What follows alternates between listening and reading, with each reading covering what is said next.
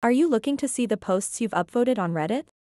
In this video, I will show you how to see all the posts that you've upvoted on Reddit. So make sure to watch this video until the very end to understand the tutorial properly.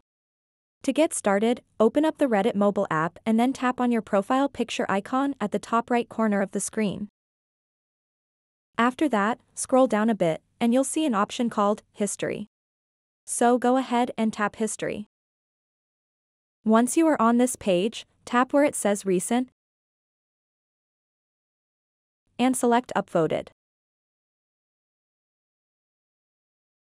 Once you've done that, it will show you all of the posts you've upvoted on Reddit. You can simply scroll down and see them all, and if you want to remove an upvote from a post, downvote it, share it, or comment on it, you can easily do so. So that wraps up this tutorial. If you have any questions about this whole process, please let me know in the comments section below. And if this video helped you out, please give it a big thumbs up and subscribe to this channel for more tutorial videos like this one. Thank you so much for watching and have a good day.